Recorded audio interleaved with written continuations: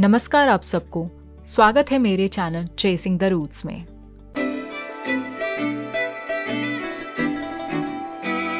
British colonial period India में लगभग 200 साल तक मौजूद रहा। इस दौरान ब्रिटिशर्स ने कई तरीकों से इंडियन सब कॉन्टिनेंट पे अपना कंट्रोल जमाया, जिनमें से चाहे भारत के राज परिवारों में उत्तराधिकारी का अभाव होने की वजह से डॉक्ट्रिन ऑफ़ लैब्स जैसी पॉलिसीज़ अपनाना हो या फिर भारत के राजाओं की सेना के ऊपर अपना कंट्रोल रखने के लिए सब्सिडरी अलायंस या रिंग फेंस पॉलिसी का इस्तेमाल करना हो। अगर हम इंडियन आर्मी के एवोल्यूशन के बारे में शुरुआत से समझना चाहें तो हमें सत्रहवीं शताब्दी में पहुँचना पड़ेगा। सन 1600 के समय में ब्रिटिशर्स सिर्फ़ एक ट्रेडिंग कंपनी के रूप में भारत को एक बड़े मार्केट प्लेस की तरह देखा करते थे।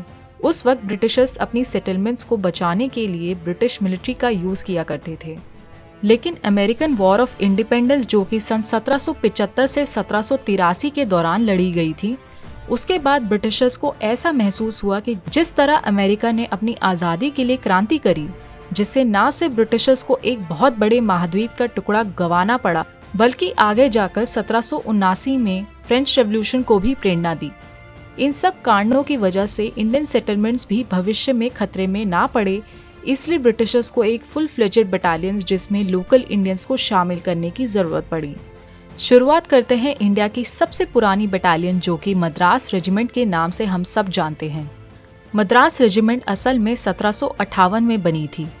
ब्रिटिशर्स ने मद्रास रेजिमेंट का deployment first time Carnatic wars को लड़ने के लिए किया था, जो कि ब्रिटेन और फ्रांस के बीच में इंडिया के पूर्वी तटों को कंट्रोल करने के लिए लड़ी गई थी। जिनमें मद्रास, पौंडीचेरी और कडलोर सेटलमेंट्स भी शामिल थी। भारतीय फौज खड़ी करने की प्रक्रिया में एक ऐसा दौर आया जब अठारह सौ सत्तावन की क्रांति जिसमें भारतीय सिपाही जैसे मशहूर शहीद मंगल पांडे ने भी विद्रोह की बागडोर संभाली। इस विद्रोह को सिपाहियों के बीच में फिर से ना उभरने के लिए अंग्रेज़ी शासकों ने एक तरीका सूझा, जिसमें हर एक भारतीय ब्रिगेड के साथ एक ब्रिटिश या गोरखा बटालियन जुड़ी हुई थी।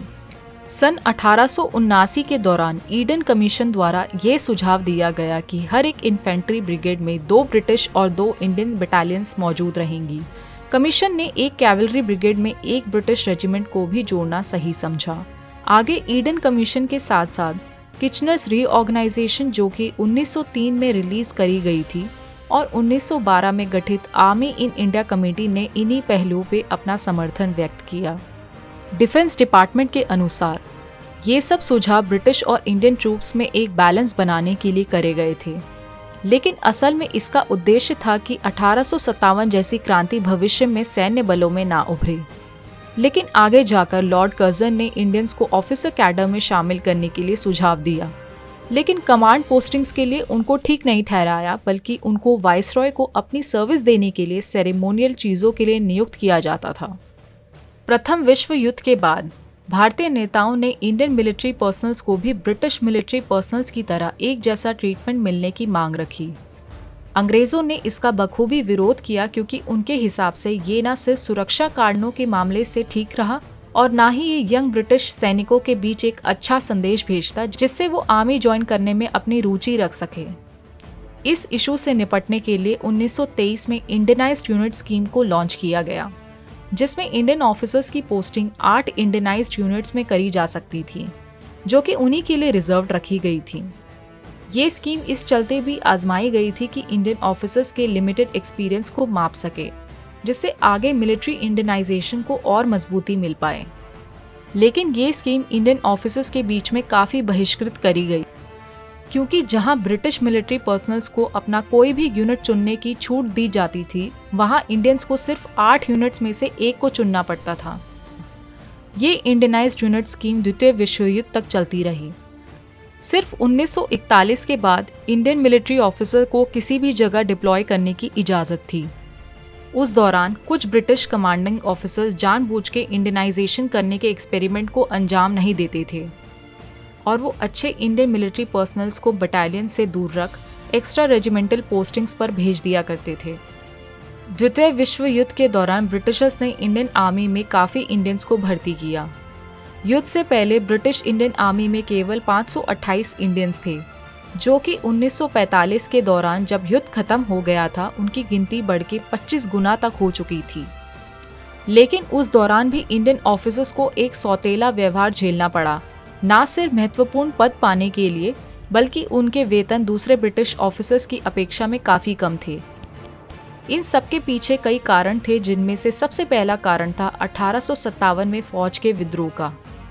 ब्रिटिशर्स इस इंसिडेंट के बाद इंडियन मिलिट्री पर्सनल्स के ऊपर कभी अपना भरोसा नहीं रख पाए। दूसरा कारण था कि ब्रिटिश मिलिट्री ऑफिसर्स को इंडियन मिलिट्री ऑफिसर्स की योग्यता के ऊपर संदेह था। जिसकी वजह से उनको यूनिट्स को कमांड करने के काम से दूर रखा जाता था। हालाँकि उस दौरान इंडिया में क्विट इंडिया मूवमेंट जैसा संघर्ष चल रहा था, जहाँ इंडियन आर्मी में इंडियन पर्सनल्स के साथ भेदभाव होने के ऊपर भी बात उठने लगी, जिससे आगे चलकर ब्रिटिशर्स के ऊपर दबाव बना कि वो इसको लेकर आगे कड़े कदम अपनाएँ। ब्रिटिशर्स ने तीन बटालियंस में ऑल इंडिया ब्रिगेड को एक्सपेरिमेंटल तौर पर स्थापित किया। Fifty first Indian brigade Indianisation के प्रोसेस से जोड़ी गई।